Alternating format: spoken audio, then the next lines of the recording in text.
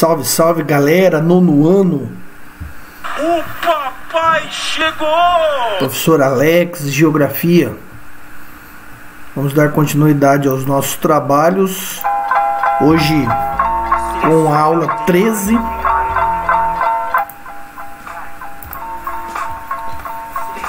Unidade 7. Espaço rural e urbano na Ásia, Europa e na Oceania.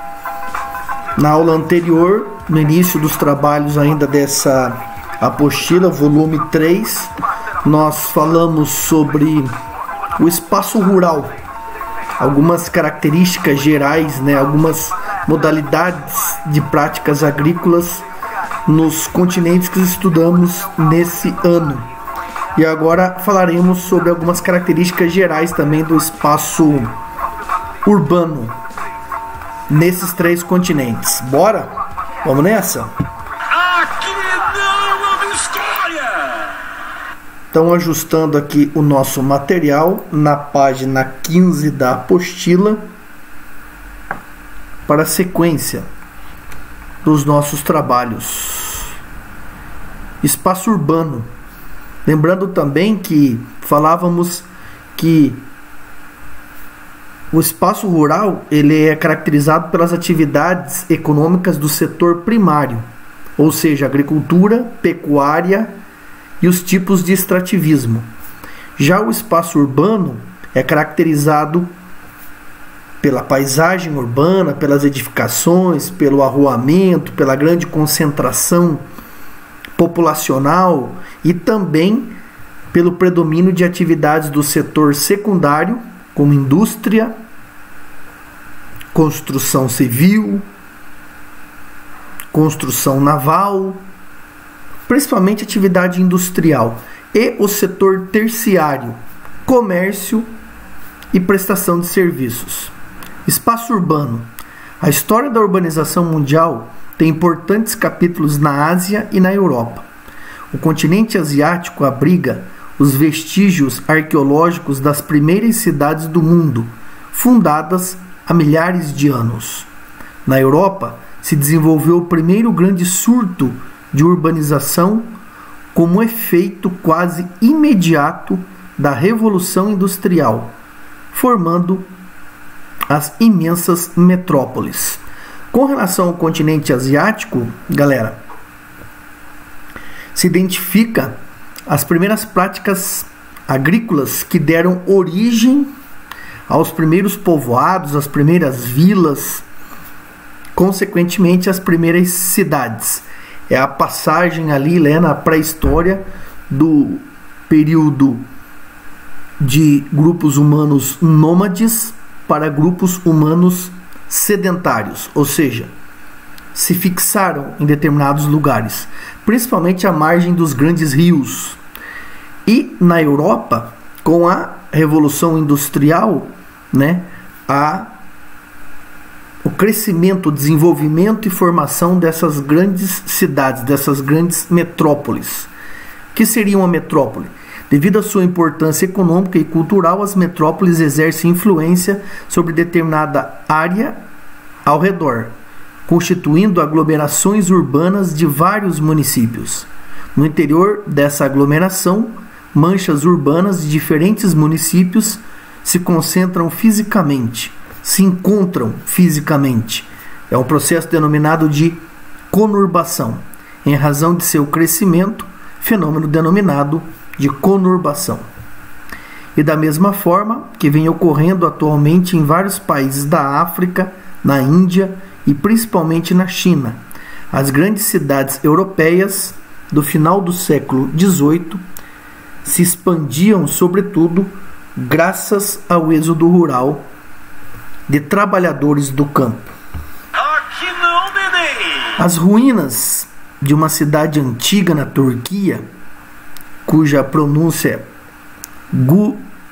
Gubekli Tepe, não posso garantir que a pronúncia seja essa, na bacia do rio Eufrates, podem testemunhar a mais antiga cidade criada no globo, datando de mais de 11 mil anos atrás. Outros sítios arqueológicos das primeiras cidades do mundo fundadas por civilizações da antiga Mesopotâmia, como os assírios, hititas, sumérios, babilônicos, fenícios, entre outros. Também se situam no Oriente Médio, em território atualmente na Turquia, Síria, Iraque e Líbano. Aqui a gente pode acompanhar né, vestígios arqueológicos dessas primeiras cidades, um sítio arqueológico dessa cidade na Turquia, assim como outras que foram citadas como as primeiras cidades. Esses 11 mil anos meio que né, coincide com justamente o desenvolvimento da agricultura, há cerca de 10 mil anos atrás. Então, essa, esse elo de ligação lá no passado entre a sedentarização desses grupos humanos e o surgimento das primeiras cidades. Nos atuais territórios do Egito, Paquistão, Índia e China, aglomerações urbanas pioneiras também foram criadas há milênios. Para essas sociedades, as planícies aluviais dos rios Nilo, Tigre e Eufrates, Indo e Ganges, Huangho, o Rio Amarelo, o Yangtze, o Rio Azul, eram elementos fundamentais para sua fixação, seu povoamento e desenvolvimento. As áreas costeiras do Mediterrâneo Oriental, como as penínsulas e as ilhas da atual Grécia e Chipre, também ofereciam as condições básicas para o estabelecimento de sociedades sedentárias e, ao mesmo tempo, agrícolas e urbanas, abastecimento, transporte energia, e no caso dos rios, a irrigação. Essas são chamadas sociedades do regadio, né? Essa necessidade, né, de, de abastecimento hídrico, de água para transporte, para energia, para o desenvolvimento da agricultura. Então, isso condicionou a formação dessas grandes primeiras cidades nas grandes planícies aluviais, que nada mais são do que superfícies planas formadas por sucessivas deposições de sedimentos transportados pelos rios no decorrer de milhares de anos. Assim, os solos de suas margens são, em geral, bastante férteis e periodicamente inundados. Então, essa condição natural e vital para o desenvolvimento dessas primeiras grandes concentrações urbanas. Aqui a gente tem um mapa das principais cidades do mundo entre o ano de 3700 a.C. e 1 depois de Cristo. Veja que existe uma grande concentração dessas cidades na Europa, na Ásia e algumas já também no continente americano. São os vestígios arqueológicos, os sítios arqueológicos que comprovam a existência e as características dessas cidades antigas. Das primeiras cidades, né, ainda existem algumas é, comprovações arqueológicas, como eu disse, e que caracterizam o modo de vida da população, a organização do espaço urbano, as atividades econômicas desenvolvidas, né? Seguindo, das cidades que persistiram e continuaram a se desenvolver até os tempos atuais, as mais antigas também se situam nas periferias, ou melhor, nas referidas regiões da Eurásia. Como eu disse, e a gente já estudou, né? Europa e Ásia. Entre essas destacam-se Sidon, Tiro e Piblos, no Líbano, Venares, na Índia, e as capitais Damasco da Síria e Atenas da Grécia.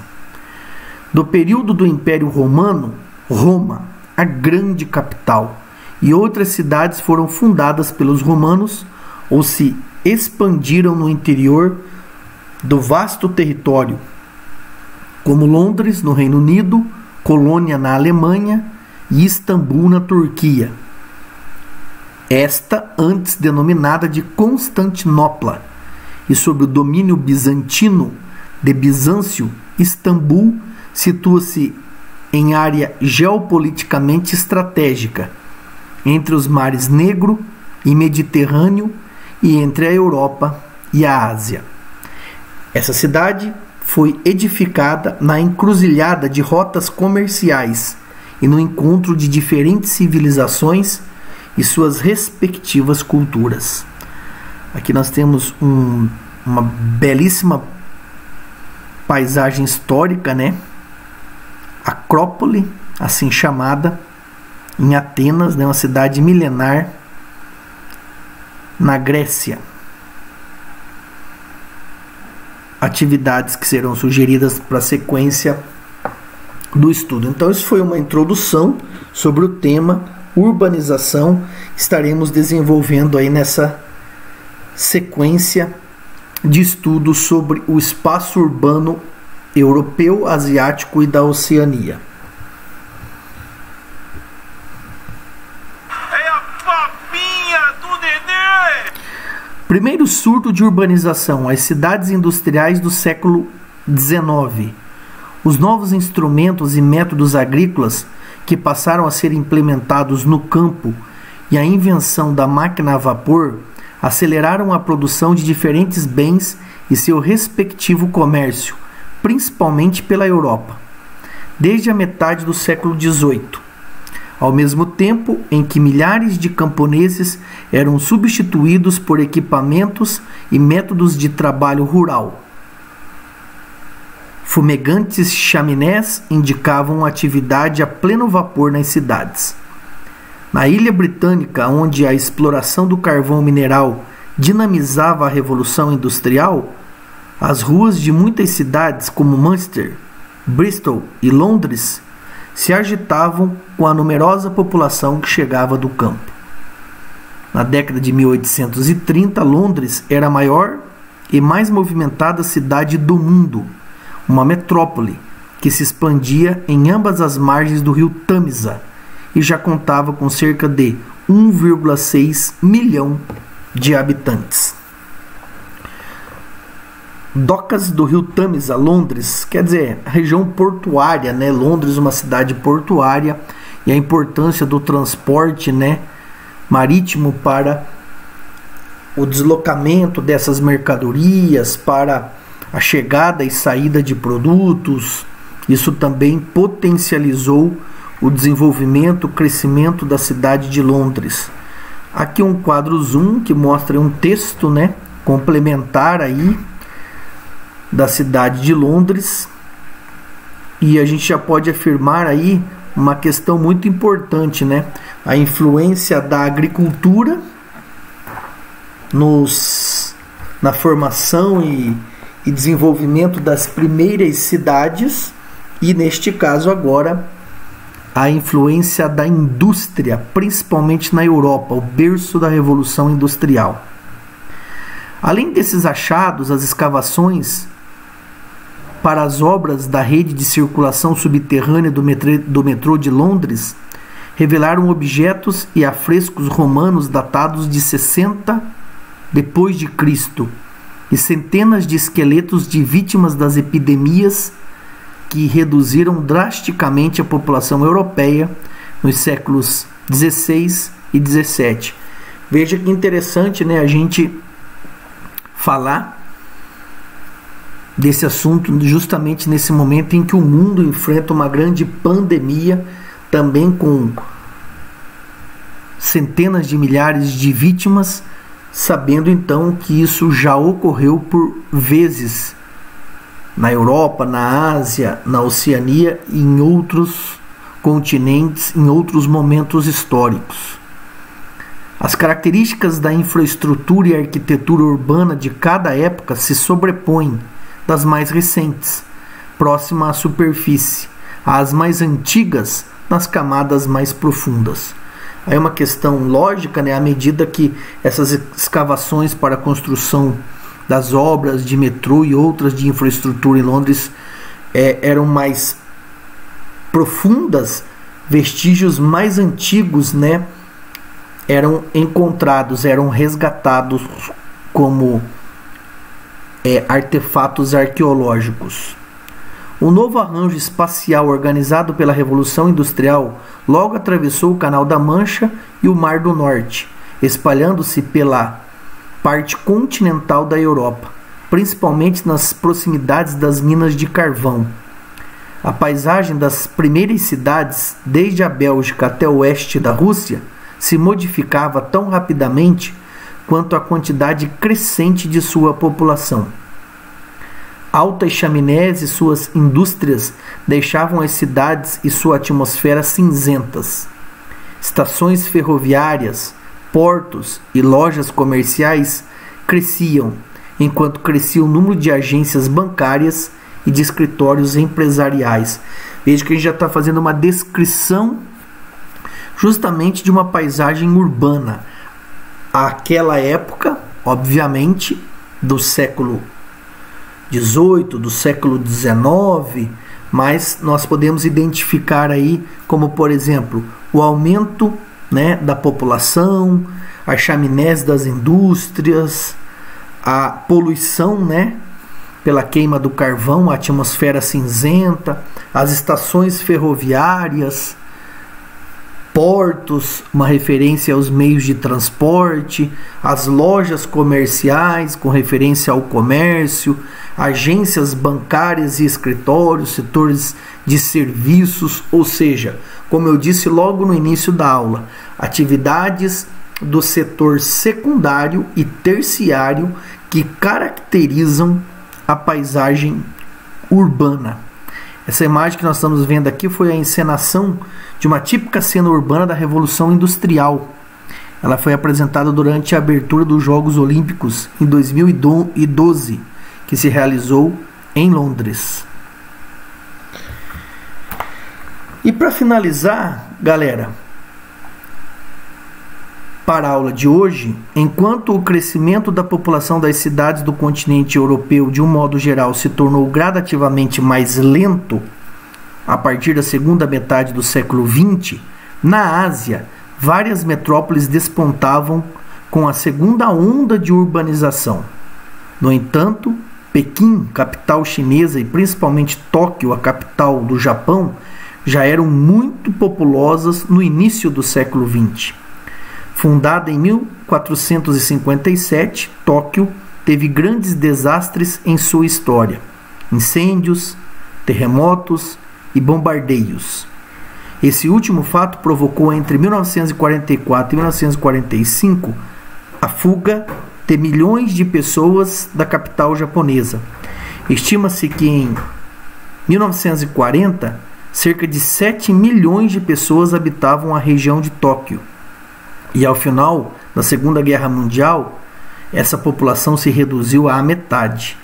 Atualmente, Tóquio é a metrópole mais populosa do mundo, com cerca de 37 milhões de habitantes. Ao lado de Nova York e Londres, a capital japonesa é, uma das é um dos principais centros financeiros do globo. Isso pode ser conferido né, na lista das 20 mais populosas aglomerações urbanas que vocês vão encontrar no material de apoio. Aí algumas imagens que fazem referência a esses trágicos acidentes ao longo da história da capital japonesa. Pessoal, esse é um início de trabalho acerca do tema urbanização que nós veremos agora nessa nesse estudo sobre o espaço urbano